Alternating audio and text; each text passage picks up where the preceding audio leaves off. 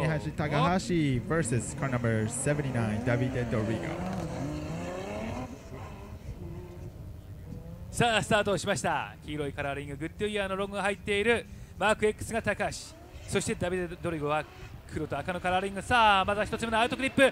高橋邦明がそのビッグパワーを利用して白煙もくもく後ろが全然見えない状態。どうだ？ダビデ・ドリゴはどうだ？リアからアウトだ。コースアウトをしたダビデ・ドリゴクラッシュですねクラッシュパッドにリアから対戦1つ目から大きなハプニン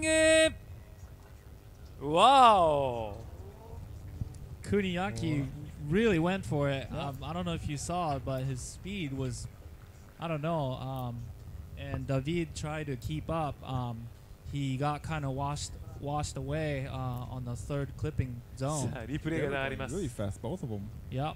上野さん序盤はダビデもついていくんですよね。良かったですよね。良かったですよね。すごいいい感じで入ってきたんですが。ここも良かった。もうこの後は白煙もくもく見えないでしょうなんていうふうに話したんですがはい。このインクリップ。そうですね。ダンロップアーチの下あたりからグッ。これリア捉えちゃったのかそうなですね。取らってダートに落としてそのままって感じですね。はい。はい。カメラマンさんちょうどいたけども大丈夫だったかな？さあというしょっぱなから皆さん。はい